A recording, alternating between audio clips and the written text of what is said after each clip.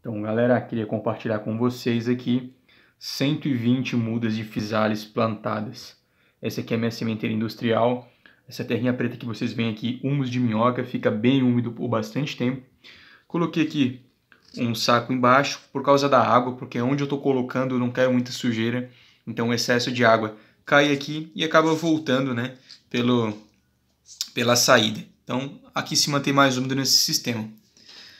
Já tem mais ou menos uns 4 dias que eu fiz, 4, 5 dias. E estou esperando aí, mantendo sempre úmido, um local, um local mais claro.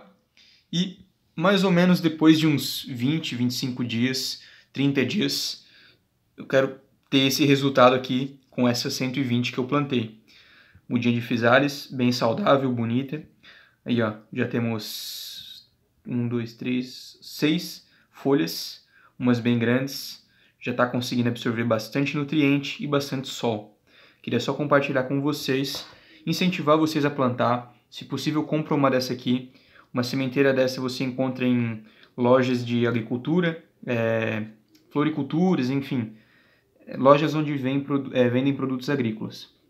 Você vai pagar mais ou menos 10 reais, preço bem barato, né, para a quantidade de mudas que você vai conseguir fazer.